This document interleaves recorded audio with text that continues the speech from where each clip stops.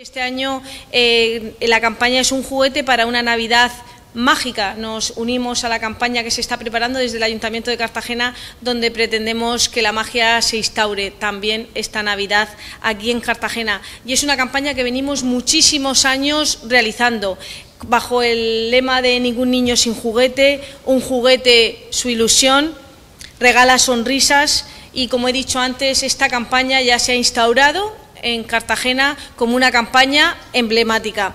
Gracias a todos vosotros el año pasado conseguimos recoger más de 3.200 juguetes que llegaran a 1.518 niños y niñas de Cartagena, en el que participasteis 37 empresas colaboradoras y 23 entidades sociales. Muchísimas gracias porque estos datos fueron fundamentales para que la magia estuviera en todos los hogares y este año, un año más, seguimos apostando porque así sea. Y es que este año, en el 2024, como decía en un principio, la campaña es un juguete para una Navidad mágica. Va a finalizar el próximo 23 de diciembre en el Palacio de Deportes en un acto en el que estáis invitados. Cartagena es solidaria, Cartagena es infancia y lo estamos demostrando con estos datos.